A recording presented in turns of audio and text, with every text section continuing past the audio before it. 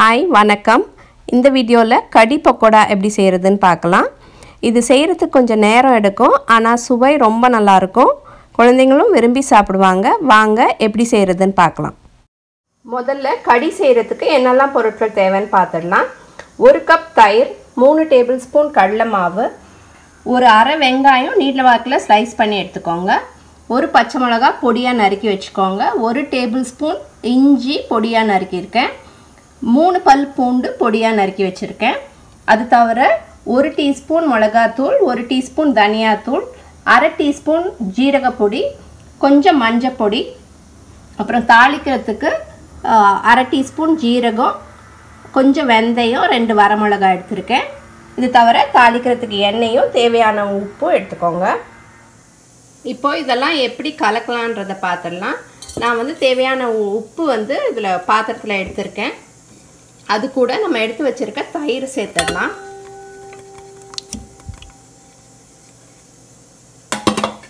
அது கூட மூணு டேபிள் ஸ்பூன் கடலை மாவு அதையும் சேர்த்துடலாம்.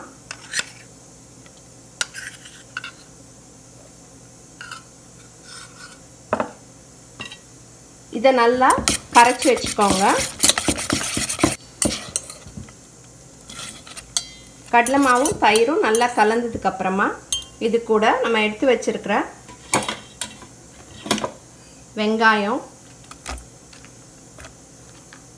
பூண்டு இஞ்சி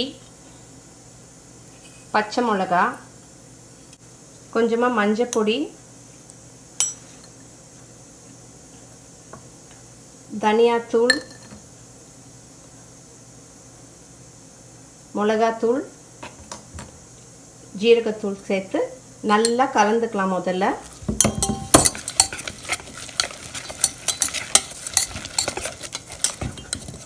இதை இந்த மாதிரி நல்லா கலந்தப்புறம் ஒரு அஞ்சு மடங்கு தண்ணி ஊற்றணும் அதில்.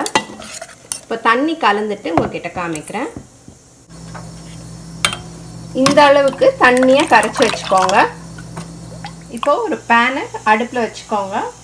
பேன் சூடானதும் ரெண்டு ஸ்பூன் எண்ணெய் சேர்த்துக்கோங்க. எண்ணெய் நல்லா சூடானதும் ஜீரகம் தாளிச்சுக்கோங்க. ஜீரகம் வெந்தயம் தாளிச்சுக்கோங்க.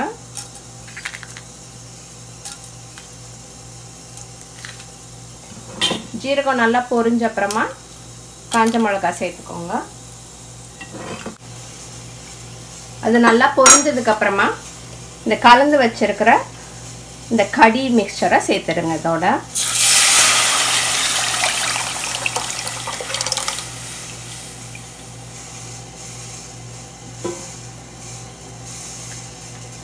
இது ஒரு அரை மணி நேரம் நல்லா கொதிக்கணும். கொதிச்சு நல்லா சுண்டணும். அது கெட்டி ஆக ஆக தான் கடி வந்து டேஸ்டியாக இருக்கும். இப்போ பக்கோடா எப்படி பண்ணுறதுன்னு பார்த்துடலாம் ஒரு கப் கடலை மாவு எடுத்திருக்கேன்.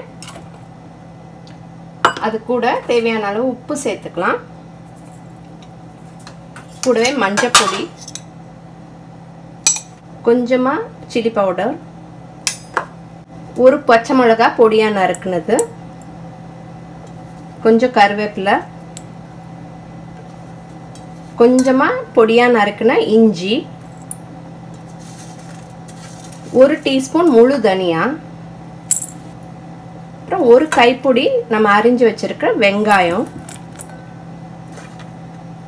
இது கூட நம்ம கீரை கூட சேர்த்து கலந்துக்கலாம். இன்னைக்கு என்கிட்ட கீரை இல்லை. அதனால நிறைய கொத்தமல்லி சேர்க்குறேன்.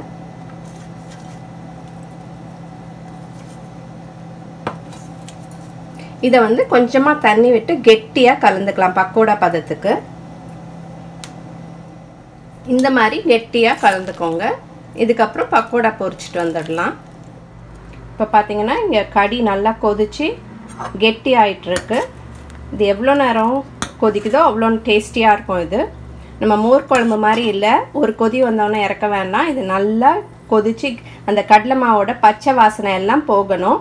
அந்த அது வரைக்கும் நல்லா கொதிக்கணும். இப்போ நம்ம பக்கோடாவை பொரிச்சுக்கலாம். இந்த மாதிரி ஸ்பூனில் எடுத்து சின்ன சின்ன பால்ஸாக போட்டால் போதும்.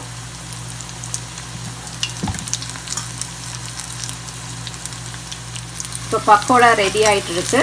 அனலை வந்து கொஞ்சம் முதல்ல நல்லா ஹையில் வச்சுட்டு அதுக்கப்புறமா குறைச்சிக்கோங்க. மிதமாக இருக்கட்டும். இந்த மாதிரி எல்லா பக்கோடாவையும் கடி கொதிக்கிறச்சையே ஃப்ரை பண்ணி தனியாக எடுத்து வச்சுக்கலாம். இதை வந்து சர்வ் பண்ணுறதுக்கு முன்னால் தான் நம்ம கடியோடு சேர்க்கணும். இப்போ பாருங்கள் இந்த கடி நல்லா கொதித்து திக்கன் ஆயிடுச்சு. மேலே உங்களுக்கு ஒரு கிளேஸ் தெரியும். அப்போ வந்து அந்த கடலை மாவு நல்லா குக் ஆயிடுச்சின்னு அர்த்தம். இப்போ நம்ம ஸ்டவ் ஆஃப் பண்ணிடலாம். நம்ம பக்கோடா இங்கே ரெடியாக இருக்குது கடி தனியாக கொதித்து அங்கே ரெடியாக இருக்குது நம்ம சர்வ் பண்ணுறதுக்கு கொஞ்சம் நேரத்துக்கு முன்னால் இந்த பக்கோடாவை இந்த கடியில் சேர்த்துடலாம்.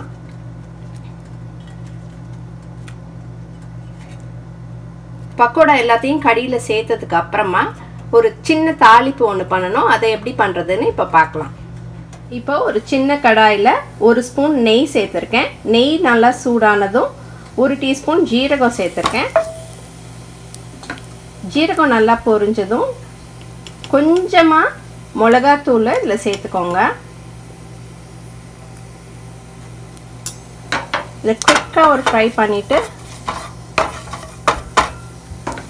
அப்படியே நம்ம ஆல்ரெடி வச்சுருக்கிற கடாய் அண்ட் கடி அண்ட் பக்கோடியில் சேர்த்துற வேண்டியதுதான்.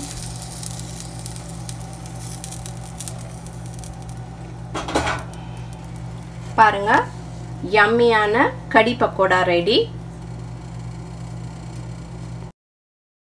இந்த சுவையான கடி பக்கோடா சப்பாத்தி இல்லைன்னா ரோட்டியோட சேர்த்து சாப்பிட்றதுக்கு நல்லா இருக்கும் இதை செஞ்சு பார்த்துட்டு எப்படி இருந்ததுன்னு சொல்லுங்க. இந்த வீடியோ உங்களுக்கு பிடிச்சிருந்ததுன்னா லைக் பண்ணுங்க சப்ஸ்கிரைப் பண்ணுங்க. தேங்க்யூ ஃபார் வாட்சிங்